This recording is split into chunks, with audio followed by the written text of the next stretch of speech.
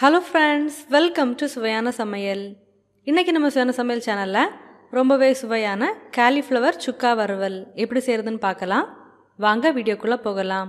சுவையான சமையல் சேனலை நீங்கள் இன்னும் சப்ஸ்கிரைப் பண்ணலைன்னா சப்ஸ்கிரைப் பட்டனை கிளிக் பண்ணி சப்ஸ்கிரைப் பண்ணிக்கோங்க. கூடவே பக்கத்தில் வர பெல் ஐக்கானை கிளிக் பண்ணி ஆல் செலக்ட் பண்ணிக்கோங்க. இந்த சேனலில் வர வீடியோஸை மிஸ் பண்ணாமல் பாருங்கள் ஒரு கடாய் எடுத்துக்கோங்க. கடாய் சுடானதுக்கப்புறமா தேவையான அளவுக்கு தேங்காய் எண்ணெய் சேர்த்துக்கோங்க. எண்ணெய் சுடானதுக்கப்புறமா கால் டீஸ்பூன் சோம்பு சேர்த்துக்கோங்க. இதில் ஒரு சின்ன துண்டு இஞ்சியை நல்லா தட்டி சேர்த்துக்கோங்க. அடுத்ததாக ஒரு நாலு பல் பூண்டு நல்லா தட்டி சேர்த்துக்கோங்க. அடுத்ததாக உங்கள் காரத்துக்கு ஏற்ப பச்சை மிளகாய் கட் பண்ணி சேர்த்துக்கோங்க. நான் இதில் ஒரு பச்சை மிளகாய் கட் பண்ணி சேர்த்துருக்கேன். இஞ்சி பூண்டோட பச்சை வாசனை போகிற அளவுக்கு இதை நல்லாவே வதக்கி விட்டுக்கோங்க. இஞ்சி பூண்டோட பச்சை வாசனை போனதுக்கப்புறமா இதில் ஒரு கொத்து கருவேப்பிலை சேர்த்துக்கோங்க. சேர்த்து நல்லா கலந்து விடுங்க. ரெண்டு வெங்காயம் கட் பண்ணி சேர்த்துக்கோங்க. கூடவே வெங்காயம் சீக்கிரமாக உதங்குறதுக்கு தேவையான அளவுக்கு உப்பு சேர்த்துக்கோங்க. வெங்காயத்தை நல்லா வதக்கி எடுத்துக்கோங்க.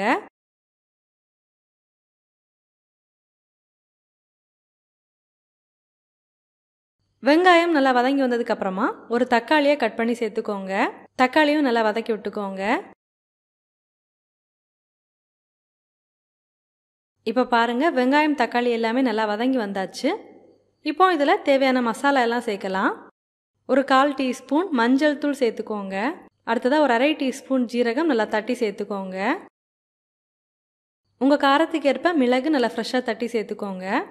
நான் இதில் ஒரு அரை டீஸ்பூன் மிளகு ஃப்ரெஷ்ஷாக தட்டி சேர்த்துருக்கேன். உங்கள் காரத்துக்கு ஏற்ப மிளகாய்த்தூள் சேர்த்துக்கோங்க. நான் இதில் ஒன்றரை டீஸ்பூன் மிளகாய்த்தூள் சேர்த்துருக்கேன். அடுத்ததாக ஒரு டீஸ்பூன் தனியாத்தூள் சேர்த்துக்கோங்க. இதெல்லாம் சேர்த்ததுக்கப்புறமா மசாலாவோட பச்சை வாசனை போகிற அளவுக்கு இதை நல்லாவே வதக்கி விட்டுக்கோங்க. மசாலாவோட பச்சை வாசனை போனதுக்கப்புறமா ஒரு சின்ன சைஸ் கேலிஃப்ளவரை சின்ன துண்டுகளாக கட் பண்ணி தண்ணியில் உப்பு மஞ்சள் தூள் சேர்த்து ஒரு அஞ்சு நிமிஷம் நல்லா கொதிக்க விட்டு தண்ணியை நல்லா வடிகட்டி எடுத்திருக்கேன். இப்போ இந்த கேலிஃப்ளவரை இதில் சேர்க்கலாம். சேர்த்து இந்த மசாலாவோட நல்லா கலந்து விட்டுக்கோங்க. காலிஃப்ளவரை நம்ம தண்ணியில் சேர்த்து கொதிக்க விடும்போதே உப்பு சேர்த்து தான் கொதிக்க விட்டு எடுத்திருக்கோம். வெங்காயம் வதங்கும் போதும் உப்பு சேர்த்துருக்கோம். அதனால் உப்பு உங்களுக்கு தேவைப்பட்டால் நீங்கள் பார்த்து சேர்த்துக்கோங்க.